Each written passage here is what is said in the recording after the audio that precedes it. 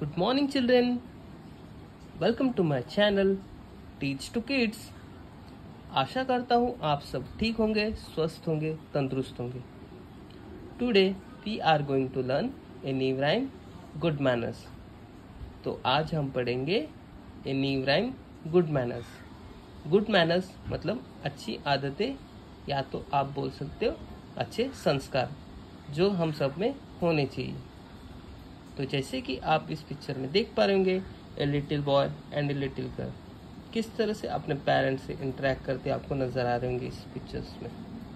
Okay तो हम जानेंगे कि क्या कहा है गुड मैनर्स के बारे में और इनके इंटरेक्शन के बारे में इस राइम के थ्रू तो बने रहिएगा मेरे वीडियो में। मैं आपको रीडिंग के साथ साथ एक्सप्लेन भी करूँगा। और जब मैं रीड करूँ ट्राई कीजिए, आप भी रिपीट कीजिएगा। ओके बच्चों? सो बिना टाइम वेस्ट करते हुए लेट स्टार्ट बोलिए good manners manners are such lovely things it's really fun to say sorry please and thank you in a such a nice way thank you so much mummy daddy please sing it loud These are the little magic words that make my parents proud. Okay बच्चों तो मैं अब आपको explain करता हूँ। ध्यान दीजिएगा। Good manners मतलब अच्छी आदतें।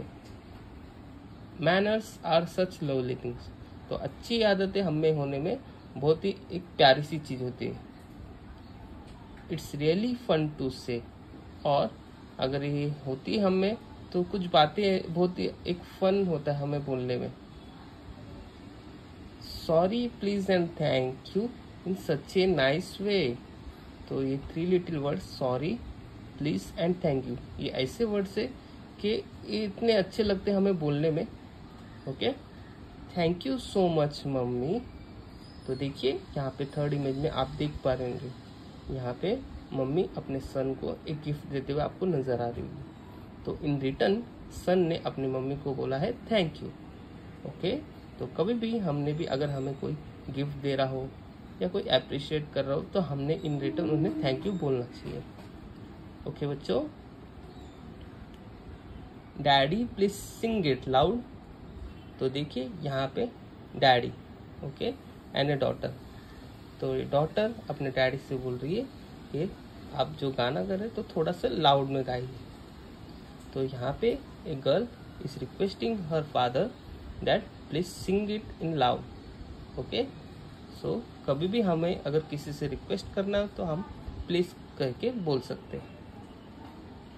This are little magic words that make my parents proud okay तो this are the three little magic words thank you please and sorry तो जैसे कि आप फ़र्स्ट इमेज में देख पा रहेंगे यहाँ पे लिटिल गर्ल अपने मम्मी से माफ़ी मांगते आपको नज़र आ रही है तो शायद से इन्होंने कुछ गलती कर दी है तो इसलिए वो माफ़ी मांग रहे तो हमने भी अगर कभी गलती कर देते तो हमने हमारे पेरेंट्स से सॉरी बोल के माफ़ी मांग लेनी चाहिए।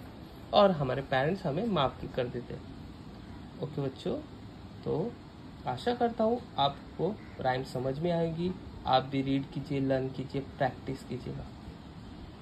तो अगर आपको मेरे कंटेंट्स पसंद आते हैं तो ज़रूर से मेरे चैनल को सब्सक्राइब कीजिए लाइक कीजिए शेयर कीजिएगा।